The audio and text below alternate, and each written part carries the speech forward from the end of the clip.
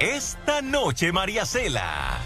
Él estuvo aquí hace ya la... Ha estado en dos ocasiones. Julián Gil, un verdadero ídolo de las telenovelas.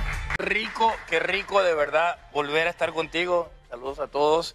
Cuéntanos de que viniste aquí a República Dominicana Mira, yo siempre ahora. busco una excusa para venir a la República Dominicana, sobre todo por el cariño que, que- que me da la Ah, sí, gente. pero y aquí además tenía mucho encanta, que no venía. Me encanta.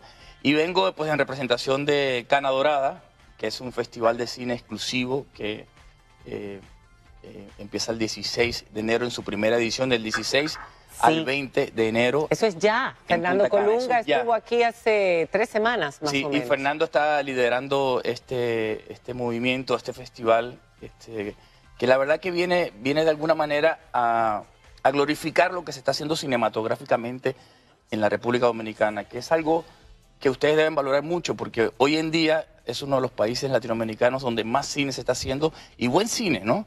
Entonces, eh, eh, yo, ¿Has yo voy a ser el presentador. ¿Has eh, visto varias películas nuestras? He hecho dos. Aparte de las que has hecho, ¿has visto Sí, sí, he visto películas? que León, he visto varias cosas. Vi una película que también hizo a Maurino Lasco aquí, este, no me acuerdo el nombre, pero sí he visto bastante cine de aquí. Ok. Pero eh, en, en la parte técnica y en la parte humana, pues tienen mucho valor ustedes Sí. aquí, ¿no? Entonces, además de todos los beneficios que existen con, Con la, ley de, cine, ¿no?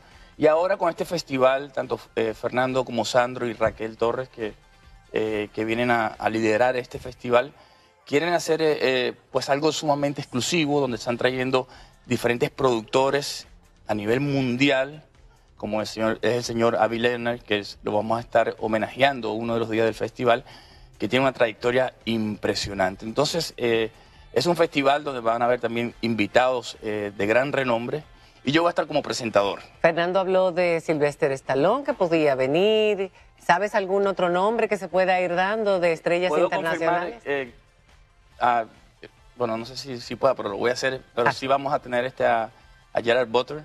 Va a estar con No. nosotros, sí.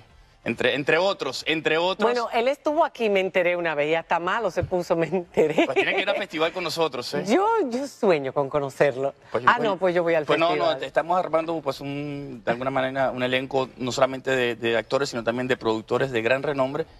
Y te puedo asegurar, te puedo asegurar que eh, Cana Dorada se va a convertir en uno de los festivales más importantes a nivel mundial, del cual cualquier dominicano se va a sentir orgulloso. Es como un- ustedes quieren ir formando un Cannes, o sea, Correcto. una especie de Cannes, Festival Correcto. de Cine Independiente, y por eso traen artistas también para llamar la atención y el foco Sí, internacional, vienen, ¿no? vienen medios de prensa de todas partes del mundo, vienen también unos productores de, de Arabia.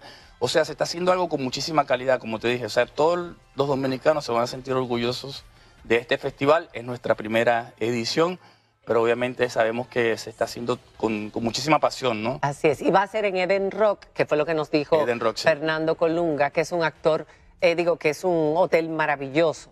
eh, que queda Y él es un actor maravilloso. Y él es un actor maravilloso, al que también le hicimos preguntas de su vida personal, pero lo tratamos también con mucho respeto, como siempre hacemos. Y notamos eh, que él, pues, eh, habló y Fat se, se abrió. Pero yo entiendo que en el caso de, de tener un tema personal que se trata constantemente y que la gente se olvida de que tú eres un actor, de que tienes una vida y de que tienes otras cosas de qué hablar, llega un momento en que uno se satura y para poner un Así paro es. tiene que ser Pero radical. sobre todo para venir a, venir a hablar de un festival, algo que se está haciendo pues de tal envergadura aquí en la República Exacto. Dominicana. Yo creo que y te agradezco que nos haya dado el tiempo para, para poder Sí, informarlo. Porque nos esperan en la mesa. Julián, para mí es un placer tenerte la próxima vez que vengas. Oja- ojalá que vengas con grandes noticias como esta. siempre. Eh,